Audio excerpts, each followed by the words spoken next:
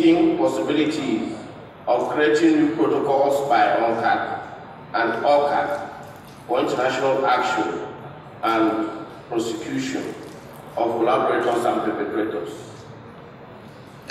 Finally, in the same vein, Mr. Chairman, the parliamentary uh, members also uh, supported a parliamentary mechanism of monitoring and assessing the management of the development aid that can be instituted involving donors and beneficiaries, as well as governments, at least in GOPAC and uh, GOPAC regions and national chapters. Uh, thank you, Mr. Chairman and distinguished delegates. This is our case from APNA. GOPAC and senior parliamentarians were active at recent and upcoming world events on anti-corruption. UN through UNODC and UNDP in the Pacific funded attendance at this particular GOPAC World Conference for seven Pacific MPs. Fundings also assisted attendance at the International Anti-Corruption Conference in Malaysia in September and for the Conference of State Parties at St Petersburg in November. GOPAC and Australia will be presenting the work and partnerships with UN during this United Nations UNCAC Conference. GOPAC Australia MPs, along with some other Pacific MPs, as I mentioned myself included, will be attending the major Australian public sector anti-corruption organisation conference in Brisbane in November. Uh, in 2014, we also saw the establishment of GOPAC Violence, following on from GOPAC Kiribati in 2013. We have strong GOPAC membership from Fiji MPs and hope that a new GOPAC chapter will be established there this year along with Nauru. So as you can see, it's, it's a fairly diverse and concerted effort uh, Australia is doing. Um, I think it's very important that that we realise the diversity of our, our GOPAC needs. There's been much said about grand corruption uh, in many of the sessions that we've, we've, discussed over the past few days here. Again, grand corruption is not a major issue for those of us in the in cities the nations of the Pacific, but on the ground day-to-day corruption which affects poor people, real poor people living in real poor villages uh, something that is of concern to us and how do they, they can be informed about the institutions that they, they can access uh, to ensure that they no longer become victims of that kind of corruption. Corruption is the main instrument of poverty, of terrorism, of everything which is depriving a common man from his fundamental rights. So, it is not the duty of the government officials only or anti-corruption authorities only to protect and promote anti-corruption activities. It is obviously the responsibility of the elected representative of each region and country and globe. As we always go to our common man, we used to say that we are the savior of yours. We will provide you all the justice we will ensure your development and everything what we go to our voters at the time of our elections. But after the election, we do forget everything. So I think it is primarily the responsibility of ours to make this world, this globe, more justified, more transparent, more developed, and to provide the basic right to the individuals of every country and every region and to protect our innocent children and women from the act of this barbarism, of terrorism, of corruption. Those who are indulged in corruption, they are more terrorists because they are depriving the fundamental rights of a common man. Finally, with these words, I conclude my speech and once again, I must congratulate the GOPAC Indonesian region, the organizers, those who took active part to provide us this opportunity, and on behalf of Pakistan delegation and on behalf of the Pak delegation, I once again Thank you very much for this successful event and successful convention and conference. Thank you very much. Por último, quiero contarles que también en mayo de este año hemos sido invitados junto a otros miembros de GOPAC, como por ejemplo el, el honorable diputado nacional Manuel Garrido, al Consejo Profesional de Ingeniería Civil para hablar sobre órganos de control en la ciudad de Buenos Aires. Y el 11 de junio, junto con la ONG, que formamos parte, es decir, que es el Secretariado de Buenos Aires, se celebró la Cámara de Diputados Nacional, que tiene sede en Buenos Aires, el Día de la Transparencia Legislativa. Una jornada de todo el día donde pudimos escuchar a senadores y diputados plantear distintas alternativas y soluciones a la corrupción. La semana pasada, el 30 de septiembre, en el marco del séptimo simposio Altiero Spinelli, se hizo un evento sobre la integración regional en un mundo globalizado.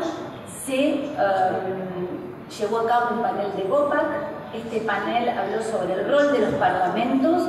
Contó con cuatro diputados, el doctor Garrido, Petri, Arenaza y Cacase, de distintos estados de la Argentina. Y también hubo dos paneles que versaron sobre la elección directa del Parlamento del Mercosur y la campaña por la creación de la Corte Penal Latinoamericana y del Caribe contra el crimen organizado. Muchísimas gracias. After several years observing the negative impact of corruption, GOPAC has come into realize that corruption is not just undermine the rule of law, it kills.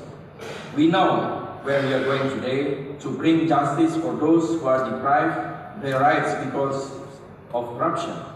In doing so, we have noticed some vital ways in dismantling the shield that is being used by the perpetrators of such crime.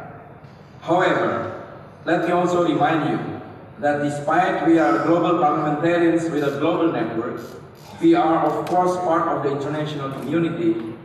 In that sense, we have the obligation to emphasize the work of the international instrument, in particular the UN Convention Against Corruption, UNCAC, as the tool in combating corruption. In other words, we should speak with the same language as the UNCAC has, and we need uh, to be under the umbrella. In the future, GOPAC will seek for more solid and stronger political support from those states that have become parties to the UNCAC. They are the mandate holder in crafting international instrument of which they can support the implementation of international cooperation in, in criminalizing grand corruption. Friends, parliamentarians of GOPAC, this conference is held at a critical juncture. Just as this organization has bloomed since its inception, the sustainability of the work of our global network of parliamentarians is being challenged. We need to secure some funding to ensure that this organization runs well. The financial support provided by the people of Kuwait draws an end. That is why we are in dire need of a new blood to support the core funding of our organization. In such situation, I bear grave responsibility to continuing the work that we have. Within short-term anticipation situation, I will seek the possibilities to establish a satellite office in Indonesia in securing the management of the executive committee as well as the board. In the longer term, we will reach out for more options to diversify the funding. Delegates, this year marks the symbolic year of political will of change. Last month, world leaders gathered in UN pledging for ambitious goals of the Sustainable Development Goals, SDGs. This month, GOPAC gathers parliamentarians all over the world to adopt ways in criminalizing corruptors within international context. In the forthcoming December, the international community will address the greatest environmental challenge that mankind ever faced, climate change. These three things have its strong links as they are cross-cutting issues one to another. They represent changes, a push to the global community to transform, from poverty to prosperity, from disaster-prone situation to climate resiliency. All these changes requires one fundamental action, eliminating corruption whenever it exists and wherever it hides, and we need to do this together. In this respect, let us applaud the newly elected executive committee, whom with them I will drive GOPAC in strengthening and sustaining the work that we have over the years. Mr. Jose K. Mensah Bonsu from Ghana and Mrs. Paula Bertol from Argentina as the Vice Chair. Mr. John Hyde from Australia as the Secretary of the Executive Committee and Mrs. Mary King as the Treasurer.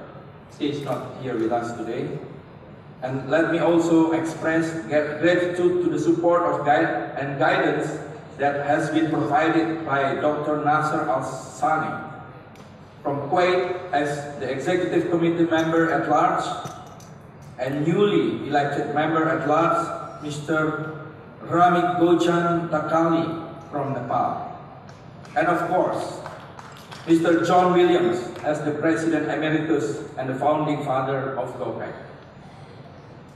I would like also to read the new board members that uh, I have the list from the Secretariat from APNAC, Honorable Chari Madi Maina from Chad, Senator Mary Claire Mukasine from Rwanda, and from ARPAC, Dr. Mamdoush Al-Abadi from Jordan, and Dr. Abdullah Bunuanu, sorry, from Morocco, and from GOPEC Latin American and the Caribbean, Dr. Carlos Alberto Perez Cuevas from Mexico, and Mr. Guillermo Mata Benet from El Salvador.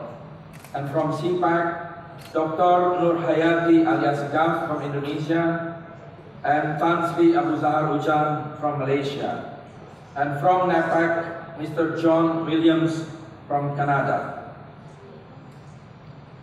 To the Board of Directors, where all you are respected figures in your national and regional chapters, we only meet in days, but I believe that your dedication to this organization are reflected in the long-standing commitment on anti-corruption that GOPAC has.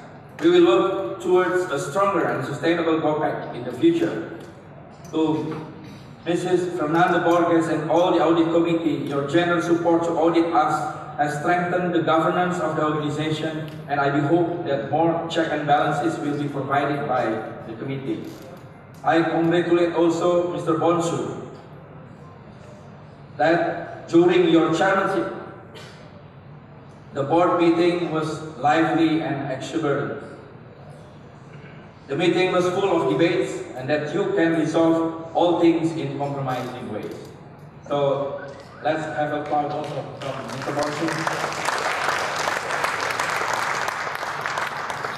Last but not least, I would like also to thank to the GOPAC Secretariat and its CEO, Akaash Maharaj, and all the staff members, Dr. Nurhayati Assegaf, as the chair of the steering committee, and of course to the Secretariat of the Indonesian Parliament, Indonesian House of Representatives. Without you, this gathering of world parliamentarians would never be as successful as today.